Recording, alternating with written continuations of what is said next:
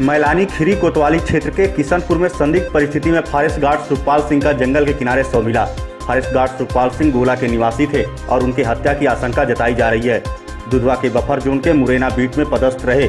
आपको बता दें कि रात में गश्त पर गए थे फॉरेस्ट गार्ड सुखपाल सिंह। बताया जा रहा है कि फॉरेस्ट गार्ड का फ़ोन भी बंद आ रहा था। जंगल के किनारे सुबह उनका शव मिला। घटना मैलानी कोतवाली के पसिया पुरवा गाँव की बताई जा रही है। फ़िलहाल मौके पर पुलिस बल पहुँच चुकी है।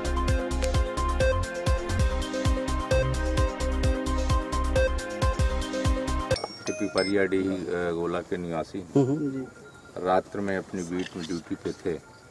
किसी अज्ञात लोगों ने उनकी कुल्हाड़ी ऐसा लगता है सर पे सार पे इस बीपन से आ, वार करके उनकी हत्या कर दी। मौके पे उनके जो सरकार जो राइफल है वो भी मौजूद थी।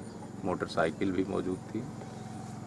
इसमें अभियोग पंजीकृत करके विधिक कार्रवाई की जा रही है और बहुत ही शीघ्र ही इसका हत्या का खुलासा किया सर मोबाइल आपका सदस्य है ठीक? हमारी पूरी टीम लगी हुई थी यहाँ हर जगह जगह पर। खोजाई हो रही थी हर पगडंडी पर कहाँ कहाँ किधर से निकले हैं किधर गए हैं तीन टीम लगा क्या दी जानकारी मिली आपको? तो अभी तक क्या जानकारी मिली? क्या जानकारी मिली अभी तक क्या जानकारी मिली? अभी जानकारी ये मिली है कि मर्डर हो गया है इनका। यहाँ पर लाश श्री किसका मर्डर हो गया? किसका मर्डर हुआ? स्वर्गीय सुखपाल सिंह का।